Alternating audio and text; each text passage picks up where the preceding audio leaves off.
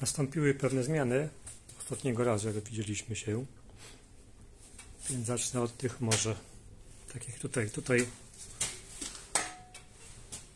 powiększyłem ten otwór, przez który ten wentylator, który tam jest w środku, wydmuchuje powietrze, mm, żeby był większy, bo byłby zbyt stłumiony był wylot spalin. Tutaj z mojego pieca rakietowego. Tutaj na boku powiększyłem komorę zasypową. Tutaj wstawiłem płaskownik 5 cm jeszcze, żeby powiększyć komorę. Po to, żeby większe drewno mi wchodziło, bo nadal było za mało. O, po tej widać. Taki płaskownik. Rozciąłem tutaj profil i wstawiłem płaskownik 5 cm w to miejsce. No i doszła pokrywa. Tutaj z podglądem. Teraz to drewno tam się zgazowuje na dole. Już nie pali się takim pełnym ciągiem, a mimo wszystko tutaj mamy palnik czerwony. Zaraz zobaczymy jakie tu temperatury. Im mniejszy przepływ powietrza, im wolniejszy tutaj. Tutaj z papielnika jakby. Tutaj jest szczelina, no musi być skądś powietrze dostarczane, więc to nie jest szczelnie. Tak samo tutaj na bokach.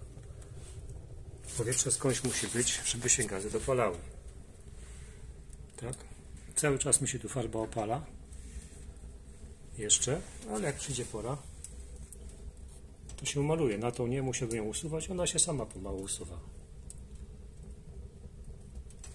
Teraz zobaczymy teraz jakie tu mamy temperatury. Się ledwo co pali, cichutko jak widać, czy tam słychać.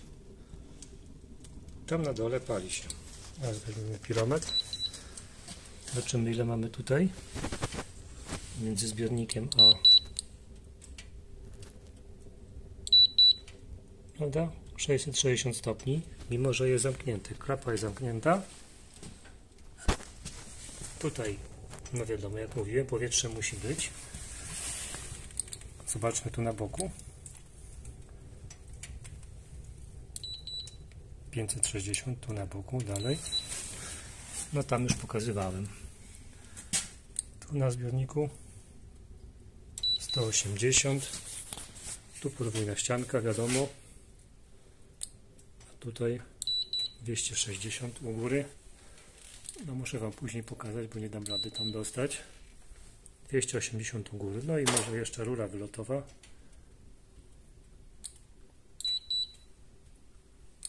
Coś nie tak. O. 97 mogę to podświetlić. O. Tam wyżej 70. No myślę, że tu nie ma rejestracji kominowej. Teraz bez cięcia pójdę Wam pokażę co w kominie widać. Mamy mróz, więc może iść para wodna z komina. Ale widzę, komin się już rozgrzał, bo wcześniej była para wodna. Nie wiem, czy ja to jakoś powiększę. O. Mamy komin, absolutnie nic z komina zero. Dobrze, wrócimy z powrotem.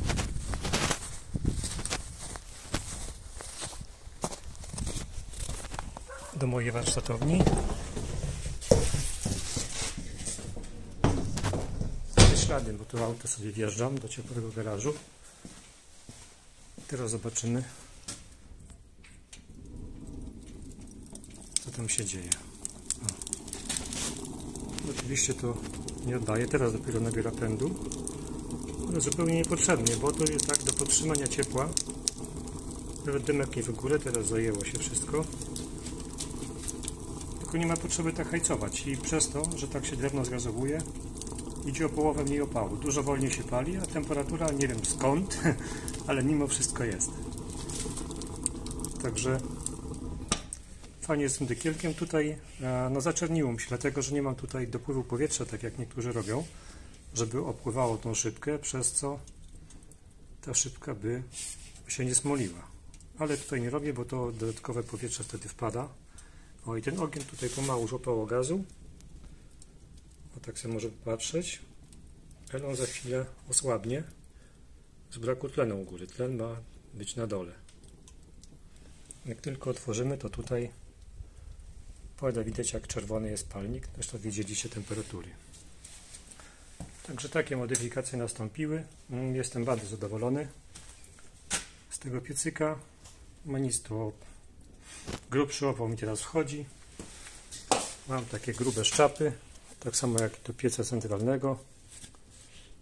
Takie tam 5 na 5 no jak się tam udziawie, tak, jakie są tam, to i tak jeszcze są pomniejszone bo im mniejsze, tym lepiej się fajniej zajmuje. Taką w jedną wielką szczapę, to ona nie za bardzo chce się palić, ale takie już drobniejsze, na pół podzielone, czy tam na trzy, to już się fajnie pali.